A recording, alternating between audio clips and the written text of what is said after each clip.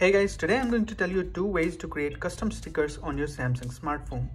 The first trick is go to the gallery, open the image to create custom sticker from, tap this pencil icon here and go to this more icon.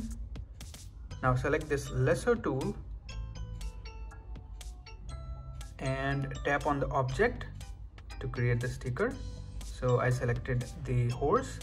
Now all you have to do is just tap on next now here what you can do is use this slider to add a border to the sticker and you can also choose from different colors. I'm gonna go with white one. So once you're done with that, just tap on done. Now after that, tap this save button right here. So once you tap that, that image will be saved as a custom sticker, as you can see here. The only problem with this trick is that the original image will be deleted automatically. So as you can see, it replaced the original image.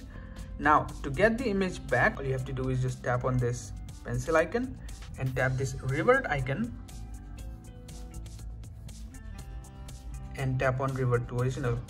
This will bring back the original image and just tap on save and it will be saved to your gallery. Now the second trick is pretty cool and pretty quick to use. Now for that trick, all you have to do is just open the image in the gallery, tap and hold on the object you want to create a sticker.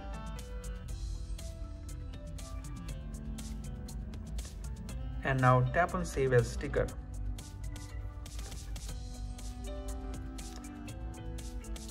So the sticker will be saved now to use those stickers on any messaging app, all you have to do is just open the keyboard, tap on this emoji icon and tap on this gallery icon. And here are all the custom stickers that you just created. Just tap on one, tap on send. And there you go.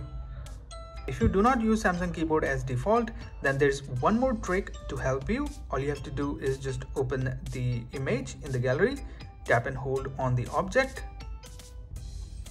and tap on this save as image. Now that object will be saved as an image right here in the gallery and you can then send this as a sticker to any messaging app. So that's it for the video. Hit the like button, get subscribed and I'll see you in the next one.